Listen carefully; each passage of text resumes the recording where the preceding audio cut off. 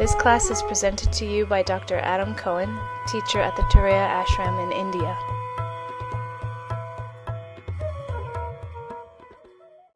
This is Pawan Muktasana's Series 3. It is designed for the release of energy blocks within the body and is great for those associated with uh, the psychosomatic ailments, which are related to the mental displacement of emotions and memories within the body. This is also a good postnatal practice. Begin the practice seated with the legs out in front. The first posture that we'll be doing is a rowing practice. it's called a rowing practice because it's very similar to the movements that you would make when rowing a boat. Keep the legs straight and together. Exhale as you reach the hands as far out towards the feet as you can, but keep the hands separated at about shoulder distance. Lean forward through the upper body, but don't cause any uncomfortable or awkward curves through the spine. Keep the spine in a nice, even, smooth curve. Then, as you inhale, raise back up to neutral seating. And then as you exhale, bring the hands to the outside of the ribs with the palms facing down. Right hand to the outside right rib, left hand to the outside left ribs. Then begin to tilt back through the upper body, going as far back as you can without compromising a straight spine. So keep the spine nice and straight. Then again, inhale back up to neutral. Then exhale, reach forward once again extending the hands out in the direction of the space just outside the feet. Inhale back up to neutral, and then exhale as you tilt back. Following the breath, keeping the movement smooth and fluid, acting as though you're rowing a boat. Use the core on the backward movement to help support the straight spine, and on the forward movement, release the core and allow it to compress into the forward bend.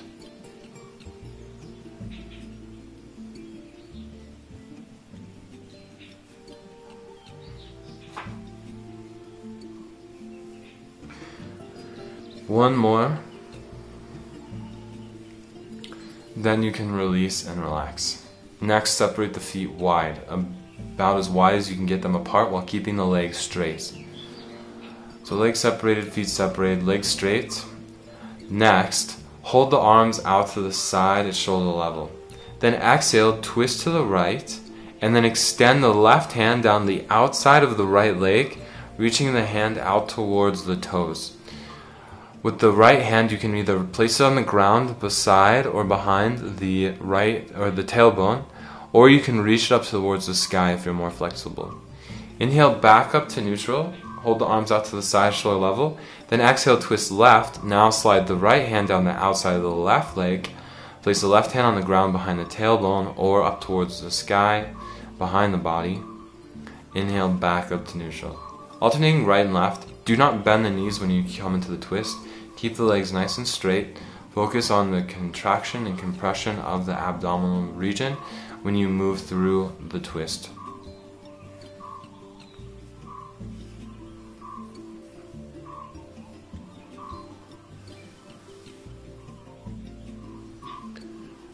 Now relax and release. Coming into the arms, we're going to keep the legs straight and then bring them back together now with the legs out in front. Reach both arms up towards the sky. Then, as you exhale, slowly begin to lower the hands down towards the thighs.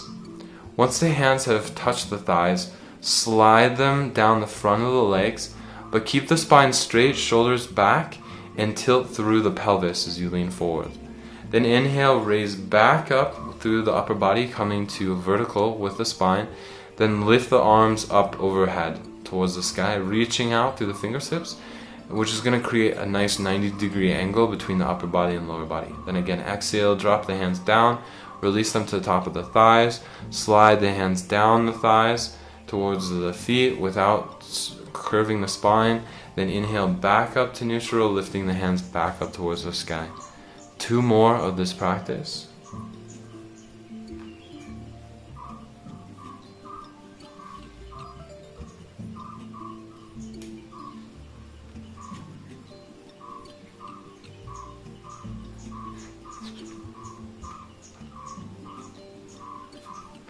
then you can release and relax.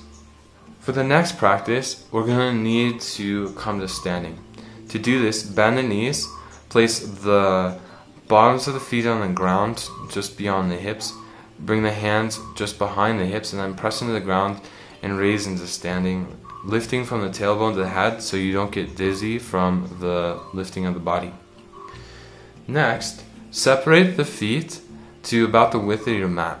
So about one and a half to two feet apart, 50 centimeters or so. Exhale, lean forward, try to grasp the insides of the feet if you can. If you're not flexible enough, then just grasp the shins. Now we're going to move with the breath. As we inhale, we're going to squat the hips down as low as we can, keeping the arms along the inside of the legs as you squat down. Then exhale, lift the hips raise them up towards the sky, and then extend into the forward bend. Okay, so moving with the breath. Inhale as you squat the hips down, bending through the knees, keeping the arms along the inside of the legs. And then exhale, lift the hips, straighten the legs, and come as deep into the forward bend as you can with the hands either on the insides of the shins or uh, grasping the inner arches of the feet. Just a few more of this practice now, moving with the breath.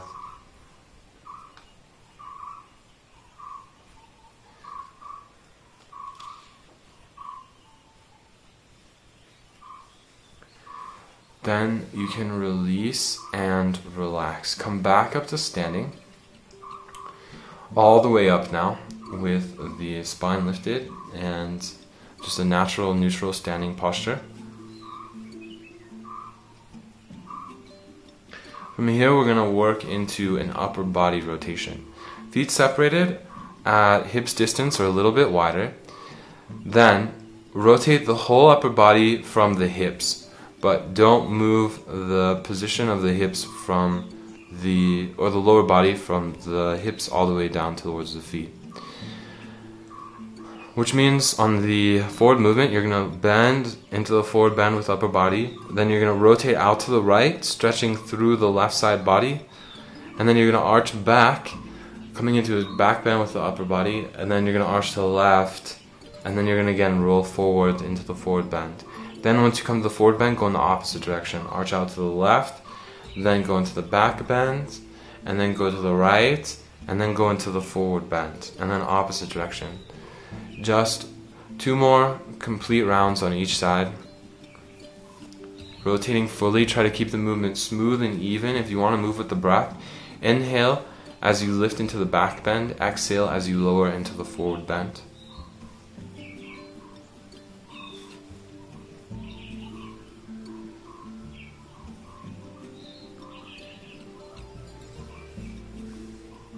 Then, once you've finished, release, bring the feet together, and back to neutral standing pose. From the neutral standing position, you're going to bring the hands to prayer. Straight line from elbow to elbow now, with the line being formed by the forearms. Hands right at prayer at the heart. As you exhale, step the right foot back, straight back from its current position, about two feet. Bend through the left knee and let the left knee be right above the left ankle, and the right knee is going to lower towards the earth. Simultaneously, you're going to twist through the upper body towards the left, bringing the right elbow to the outside of the left knee. Then raise back to standing, step the right foot next to the left, and come back to neutral. Now let's go to the opposite side. Step the left foot back, straight back, about two feet or so Drop the knee towards the earth as you bend through the right knee. Twist to the right. Bring the left elbow to the outside of the right knee. Deepen through the twist, look over your right shoulder, and then come back to neutral, stepping the left foot next to the right. Alternating right and left, twisting through the upper body, working through the legs, just a few more rounds, contracting through the abdomen to ensure the activation of the solar plex, the energy center in the abdomen.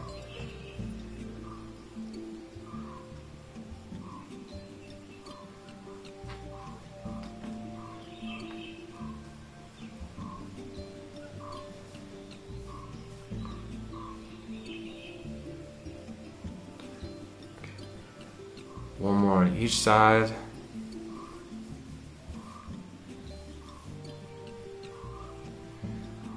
Before relaxing and releasing.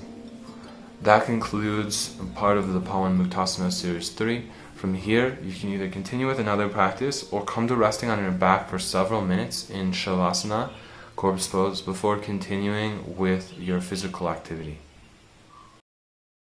Namaste. You can find more free resources on yoga, including videos, audios, and articles, on our website, studyofyoga.org. We believe that spiritual knowledge can change the world and bring forth a new path for humanity to become integrally connected to themselves and the world in which they live. Therefore, all materials we provide are available for free. However, if you would like to make a donation to help us expand our collection of resources as well as support our community projects in India, please contact us at info at studyofyoga.org. That's I-N-F-O at studyofyoga.org. Your contributions are nourishment for the lives of others who share a vision for a more peaceful and holistically unified future. Thank you for listening. May you be a light unto the world, so that the glory of truth and wisdom may shine in the hearts of all.